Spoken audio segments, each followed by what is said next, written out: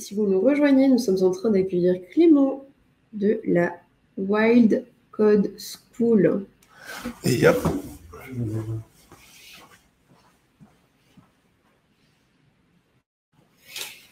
N'hésitez surtout pas à interagir dans les commentaires par rapport, euh, ben voilà, on vous en parlait tout à l'heure, euh, votre, euh, votre expérience personnelle et professionnelle, si vous voulez poser d'autres questions sur voilà, ces thématiques qui tiennent compte également de votre, de votre personne dans votre projet pro, tout simplement, j'ai envie de dire. C'est important de prendre ça en compte.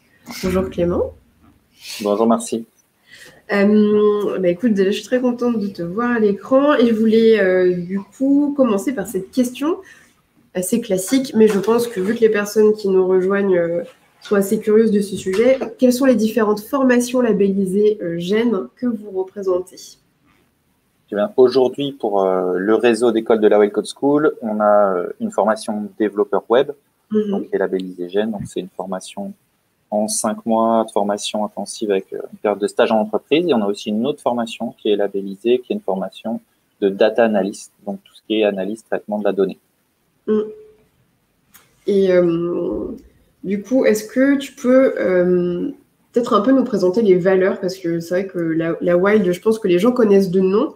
votre mission, vos valeurs, peut-être des missions sociales également, est-ce que ça fait partie de votre ADN et en quoi ça peut du coup fédérer aussi les, futurs euh, apprenants qui vont euh, vous rejoindre?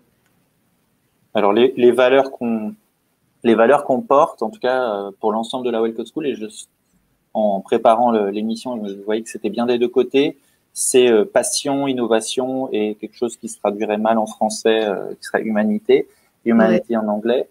Et voilà, ce côté passion, c'est à la fois du côté bah, des équipes qui travaillent sur la formation, sur ce côté vraiment engagé, parce qu'on on vit des expériences avec des personnes en reconversion. C'est pas juste on, avec des on n'a pas des personnes qui viennent juste s'asseoir à l'école et faire faire des cours. Souvent, il y a mm. plein de projets, des histoires de vie. Donc, il y a un vrai engagement des équipes pour les accompagner dans ce projet et qui implique souvent peut-être euh, au-delà d'eux, peut-être même des familles, etc. Ça va assez loin. Donc, il y a ce côté passionné. Et c'est aussi quelque chose qu'on attend des élèves, euh, moi que, que j'adore euh, dans le côté formation dite professionnelle. C'est on a les gens, ils sont contents de venir le matin. Là, on avait un, un de nos élèves euh, l'autre jour qui dit c'est la première fois que je suis content de venir à l'école, quoi. Et, et, on a cet engagement qui fait que le côté passionné fait que les bah, les journées passent vite, les gens sont contents d'être là, vont contribuer, ça va créer des échanges qui sont qui sont vraiment riches. Donc mm. ça, ça serait sur le côté euh, passion, voilà, des côtés équipe et puis côté côté élève qu'on appelle les wilders chez nous. Euh, le côté innovation, c'est innovation parce qu'on a une exigence un peu de, de notre domaine numérique, bah, c'est de suivre l'actualité. Tout ça, ça bouge très vite. Donc on peut pas, on peut pas faire du web comme, comme on en faisait il y, a, il, y a, il y a 10 ans, il y a 5 ans et même il y a 2 ans, c'était déjà différent. Et il y a l'innovation aussi pédagogique. On est tout le temps en train de tester des formats, des nouvelles modalités, des projets euh, qui marchent euh, très bien, qui marchent euh, euh, avec peut-être des choses à ajuster. Puis on change pour la session d'avant. L'idée, c'est d'être aussi dans cette dans cette expérimentation pédagogique parce que aussi les outils numériques ils nous permettent de faire plein de choses. Voilà, il y a, ces derniers mois, il y a la contrainte Covid qui fait que tout d'un coup, on a dû innover sur plein de formats, un peu sous contrainte, mais ça crée, ça crée plein de, plein de nouvelles idées. Et puis euh, dernière valeur, c'était euh, humanity, voilà tout ce qui va être un peu bienveillance, euh, pas comme un mot un peu valise, mais en, en action, de créer de l'entraide entre les élèves parce qu'ils ont des capacités différentes, ils viennent de plein d'horizons, et on a voilà on a, on a vraiment à cœur d'accompagner les gens et on a beaucoup de, de choses qui sont mises en place pour accompagner les élèves avec un formateur qui est là plein temps avec eux par exemple. Oui, complètement. Ben, de toute façon, on sent que vous faites euh, vivre vos valeurs vraiment. C'est pas juste des mots comme ça. Euh, pour que ce soit bien brandé, il y a une expérience qui est réelle, il y a des parcours de vie que vous accompagnez, il y a des gens euh, voilà, qui se lèvent le matin, qui donc participent aux formations et qui ont aussi plein de plein d'épreuves hein, qui traversent. Et Clément, j'ai une question super perso. Est-ce que tu es en chaussettes Je suis en chaussettes. j'ai choisi mes j'ai des chaussettes avec un petit damier bleu, bleu, blanc, noir, euh, un peu 3D. si je te les montre, je sais pas, ça c'est peut-être un peu choquant. La première fois que moi je suis dans une wild, effectivement, à l'entrée, il y avait un meuble à chaussures et j'ai enlevé mes chaussures et j'ai fait mon intervention en chaussettes. Ah, ok, je me suis dit, qu'est-ce que c'est je me demandais si, Du coup, je me demandais si euh, c'était quelque chose qui était commun à, à tous les campus, vous êtes en chaussettes à chaque fois dans tous dans, dans toutes les écoles, ouais, il y a, y a, cette tradition de d'être en chaussettes et en fait, on a souvent nos, élèves, quand ils se retrouvent en stage en entreprise, ils essaient d'importer cette tradition parce que c'est dur de retravailler en chaussures quand on s'est habitué à être en chaussettes tous les jours. Ah, clairement, et, euh, euh, il est venu, il, a fait la Wild à Lille, euh, il est venu chez nous et il a commencé tout de suite à se mettre en chaussettes. Hein.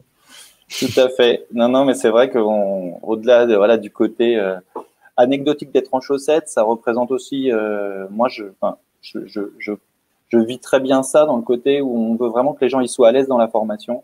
Mm. Et euh, en opposition avec, euh, je viens m'asseoir dans une salle, j'ai mis une belle chemise, des belles chaussures, mais je sais pas pourquoi je suis là.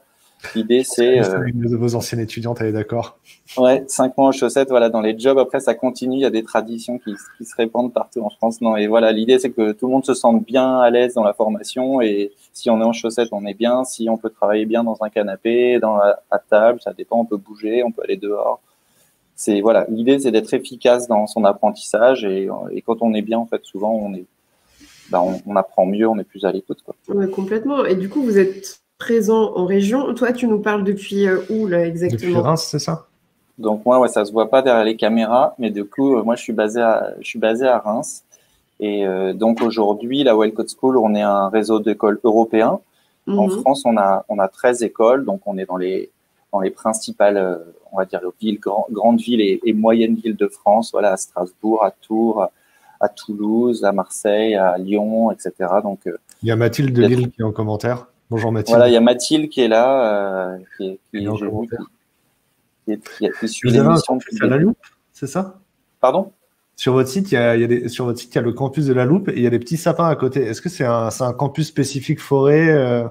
Un, un, peu, c'est un peu comme ça. En fait, le, la, la Wellcott School, elle a été la première école, elle a été créée à la Loupe. Euh, donc c'est à côté de Chartres. Euh, je ne connaissais pas avant, donc euh, ouais ouais. Si vous ne connaissez pas, c'est pas grave. Mais en fait, voilà, c'est une petite ville et le premier campus a, été créé là-bas. Et aujourd'hui, c'est un, c'est un peu le campus avec le petit sapin, c'est un peu le campus au vert. on a notamment régulièrement, alors on a des élèves de la région, de Chartres, etc. Et on a aussi des élèves qui veulent vraiment se mettre en mode intensif et on a, on a accès à une sorte d'internat là-bas à la Loupe.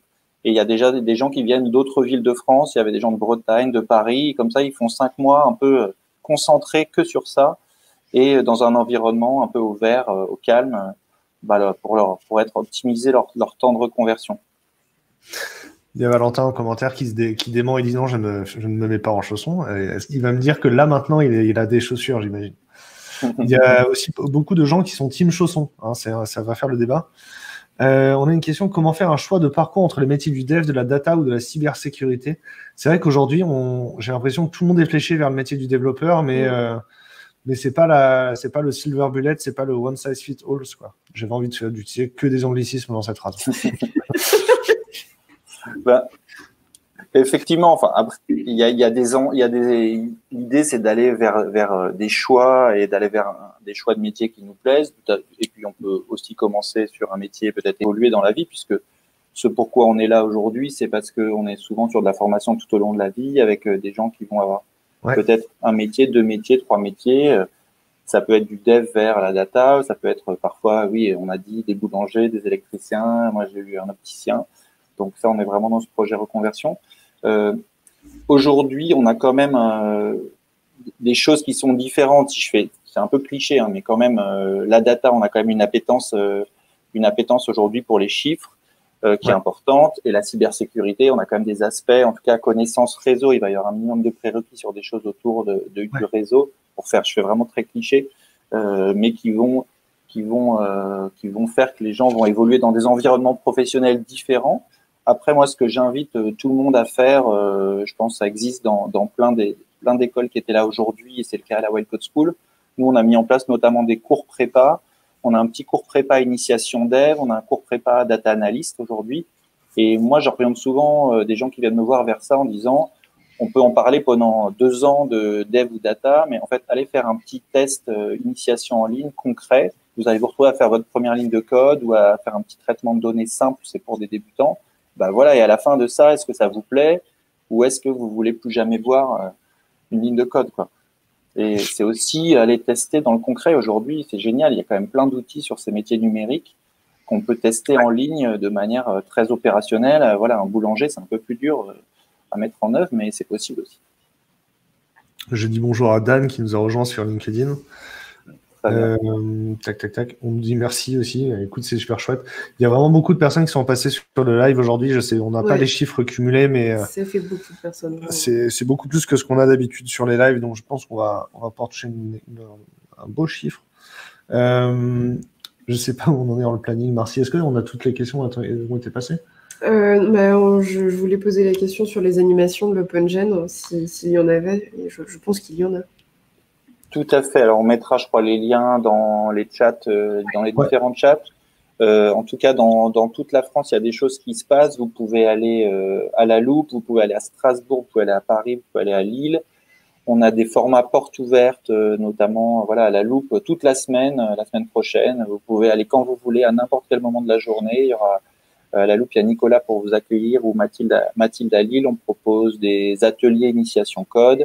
Et moi, je fais un format la semaine prochaine, jeudi, euh, en visio aussi, puisque euh, on est aussi à l'ère de la visio. Et euh, mais voilà, vous pouvez soit venir dans, dans les écoles, c'est sur la carte de Gênes avec tous les, tous les autres partenaires de la semaine, et vous pouvez aussi assister à des, à des choses en visio. Et puis après, nous, l'Open Gen, c'est toute l'année, puisqu'on va dire qu'on doit avoir des événements, initiations, workshops toutes les, tous les, toutes les semaines ou tous les 15 jours à peu près. Yes. Alors du coup, euh, on va aller regarder justement la carte parce que on en parle depuis tout à l'heure et je trouve ça assez, assez intéressant. Je vais faire revenir Stéphanie, Emmanuel et Guillaume qui sont encore avec nous. Hop, Emmanuel et Stéphanie. Emmanuel, il, va nous dire qu'il était surpris. Je vais partager l'écran. Merci beaucoup d'être intervenu. Est-ce que vous allez bien? Est-ce que vous êtes encore en forme, Stéphanie et Emmanuel?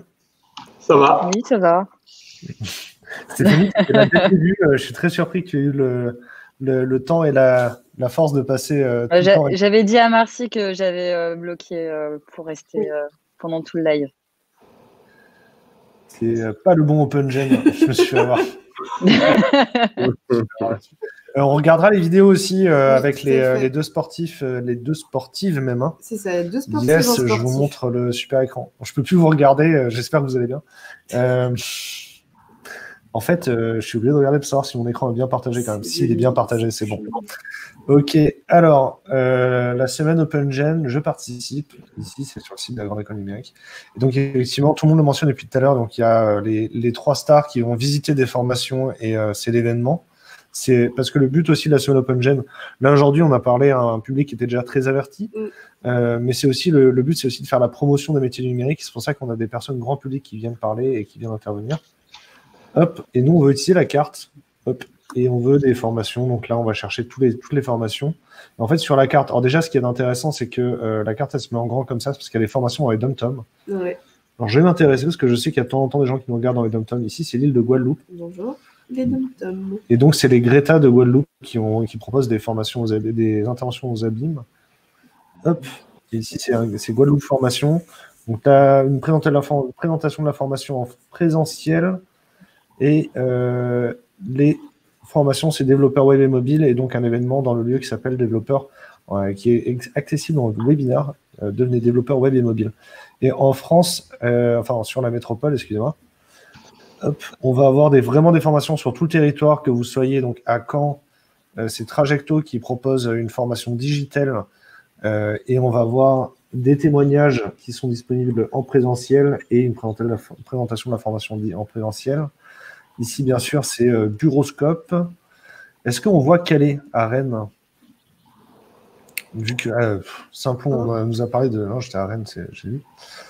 Ça, c'est pas Calais, c'est Étaples. Mais donc, s'il y a des choses à Étaples, il y a forcément des choses dans votre ville. Simplon à Calais qui est présent, Pop School qui est présent du coup à Saint-Omer avec la station.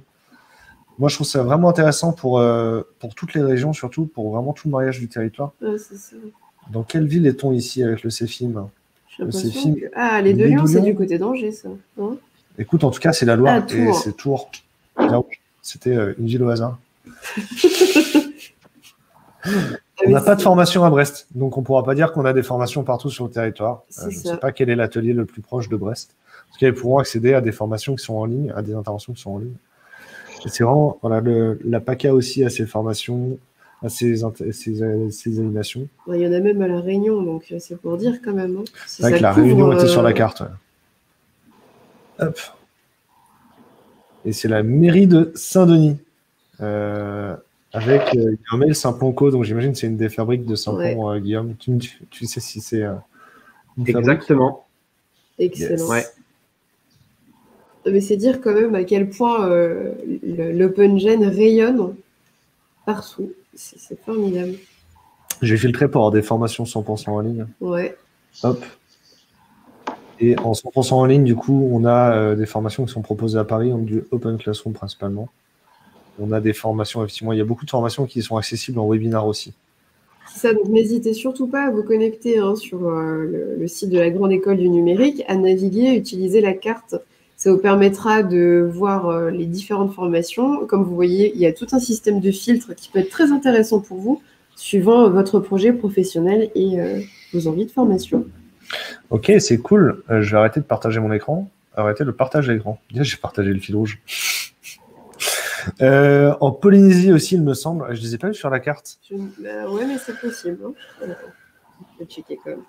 Euh, Jessica nous parle de Social Builder qui peut aussi vous permettre d'entrer en formation chez Open chez Webforce 3 ou Connexio, qui sont aussi dans la démarche. Je ne les ai pas vus sur les formations, mais il y a forcément des ateliers qui sont proposés par des formations labellisées. Est-ce que, euh, n'hésitez pas à poser vos dernières questions.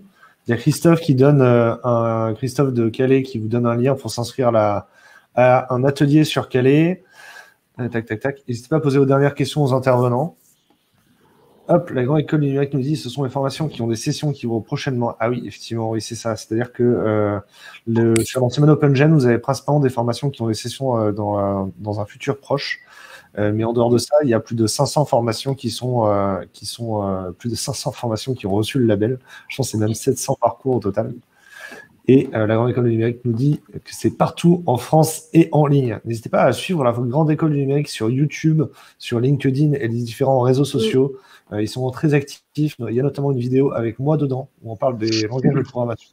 Euh, c'est donc forcément bien s'il y a moi dedans. il y a toute une myriade de, témoignages et je pense qu'on pourrait peut-être mettre à l'écran des témoignages de. Est-ce qu'on regarde la vidéo de Sarah tous ensemble? Mais ouais, carrément. Moi, je suis assez allez, euh, Vous allez voir, Sarah porte un message très très fort et euh, elle encourage euh, énormément de femmes à se pencher sur les métiers du numérique. J'ai accepté d'être marraine de la première semaine nationale des formations au numérique Open GEN car la présence des femmes dans le numérique est dramatique et qu'il faut absolument soutenir toutes les actions qui poussent euh, les jeunes filles à se former au métier du digital. Depuis que j'ai commencé la boxe, j'évolue dans un milieu d'hommes et pourtant j'ai réussi à démontrer que les femmes ont leur place dans ce milieu. Alors les filles, si vous pensez que le numérique est réservé aux hommes, sachez que c'est faux. Le numérique a besoin de vous. D'ailleurs, les entreprises cherchent de plus en plus à féminiser leurs effectifs et se former au métier du digital, c'est la garantie de trouver un emploi. Alors renseignez-vous vite des opportunités de formation près de chez vous. Le numérique a besoin de vous.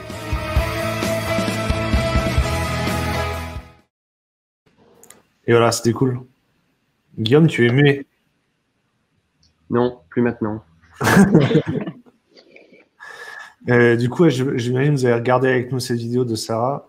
Qu'est-ce que vous en avez pensé? Vous avez des réactions à chaud? Bah, C'est top. Franchement, on a besoin de, de, rôle modèle comme ça pour, euh, pour inciter les, les femmes à, à s'intéresser davantage au métier du numérique, à, à rentrer dans des parcours comme aqueuse pour euh, travailler le projet et puis casser tous les préjugés qu'elles ont elles-mêmes sur les métiers et, et, les compétences dans le numérique. Donc, oui, ça, je pense qu'on va prendre le témoignage et on va le diffuser dans le réseau pour inciter. Ouais. En commentaire, n'hésitez pas. Un live complet, super, merci. Euh, on va lancer la deuxième, le deuxième témoignage de Alison. Pourquoi j'ai accepté d'être marraine de la première semaine nationale des formations au numérique Open GEN Il y a trois ans, je me suis blessée six mois avant les championnats du monde. Tout le monde m'a dit que je ne pourrais pas y participer et pourtant je suis devenue championne du monde avec l'équipe de France. Tout le monde fait face à des accidents de parcours dans la vie. Vous n'avez pas eu le bac et pensez que les études ne sont pas faites pour vous? Vous pensez que travailler dans le digital est inaccessible? Ne baissez pas les bras et allez rencontrer les formations près de chez vous. Seule votre motivation compte et je sais de quoi je parle.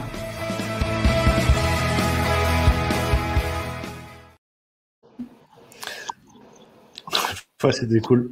Bah, comme je disais, c'est vraiment des témoignages, euh, je pense, qui sont rassurants, euh, qui sont motivants, parce que là, on a affaire quand même à deux marraines euh, qui sont déjà des femmes, euh, qui, euh, du coup, euh, sont clairement dans la diversité, et en plus de ça, portent un message très fort, qui ont, qui ont évolué dans des milieux extrêmement masculins et euh, qui ont réussi à faire leur place. Et je crois que c'est aussi le message qu'on peut porter euh, aujourd'hui à travers le numérique. Et je pense que tu l'as bien, bien expliqué. Ah bah super, Woman in Tech, bah. Ça commence à bouger. Mais oui, c'est ça. Vraiment top ce live. Du coup, ouais, on est en train d'avoir les dernières interventions, des dernières questions. Mm. Euh, on va bientôt euh, lancer la vidéo de fin. Euh, N'hésitez pas si vous avez des questions pour les intervenants. On a encore 2-3 minutes, peut-être, peut-être même moins, je pense. Et ensuite, on, on lancera une vidéo de fin. Et pour les viewers qui sont sur Twitch, on va aller raider une chaîne, je ne sais pas encore laquelle, mais restez Mm. avec nous pour ce temps-là qui, se- qui sera sympathique. Carrément. En tout cas, merci Stéphanie, merci Clément, merci Guillaume et Manu- merci Emmanuel d'être venu, d'être resté avec nous tout le long.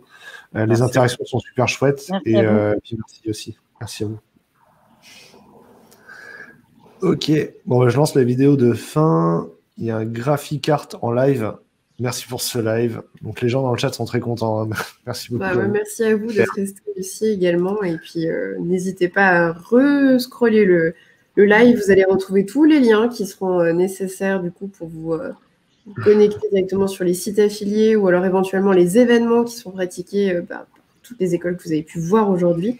Un grand merci également à la Grande École du Numérique qui nous a permis de, j'ai envie de dire, euh, voilà, mettre, euh, mettre de la lumière sur toutes vos formations, euh, peut-être voir aussi qui vous êtes réellement.